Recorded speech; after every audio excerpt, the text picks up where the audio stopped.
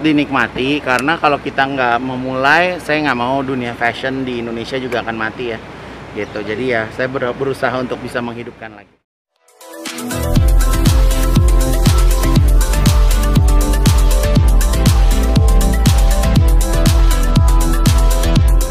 Jangan lupa ya di subscribe dan nyalakan lonceng notifikasinya. Oh, jadi kemarin saya sudah melakukan uh, fashion show uh, dikemas dengan protokol kesehatan yang sangat luar biasa saya jaga. Semua model, semua kru yang bertugas, uh, semua swab terlebih dahulu. Fashion show tanpa ada penonton sama sekali dan ya berjalan lancar.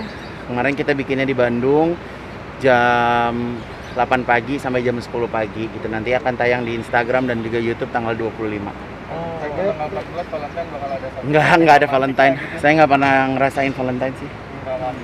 Enggak, enggak ada, enggak ada. Egon ribet nggak sih bikin acara fashion show dengan prokes? Ya buat saya ribet, tapi kita harus bisa hidup dengan corona ya. Kalau enggak kita kalah sama mereka. jadi Reza Arab seperti apa sih ini? Saya Iya, dandan mirip Reza Arab tuh siapa? Jadi seperti laki-laki Reza Arab. Oh ya kalau makeup yang ada masalah.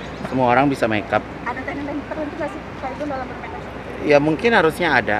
Banyak kok di Instagram juga ada yang bisa jadi Michael Jackson, bisa jadi siapa gitu. Itu yang tang- eh, yang kemarin eh, pas fashion show soal apa sih? Apa? Nah, temanya soal apa fashion show-nya? Uh, fashion show-nya namanya Hope, Love, and Happiness.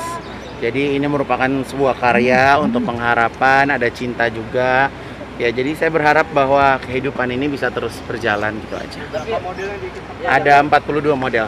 ada aneh sih Mas Egon kayak bikin fashion Aneh sih tapi ya harus terbiasa sih. Lama-lama juga jadi nggak aneh. Nah, tapi hype-nya eh, eh, dinikmati nggak sih atau seperti apa?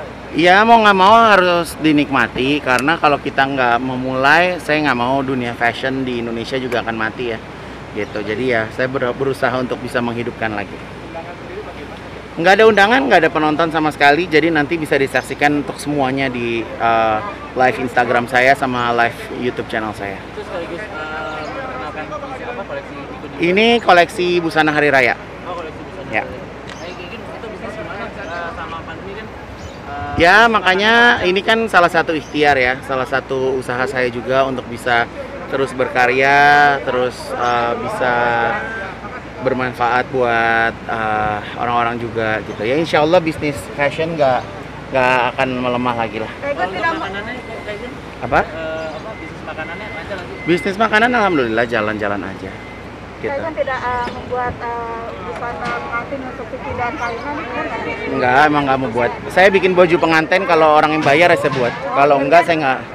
Sekarang lagi susah mbak, nggak ada waktu buat sponsorin orang. Gitu ya. Jangan lupa ya di subscribe dan nyalakan lonceng notifikasinya.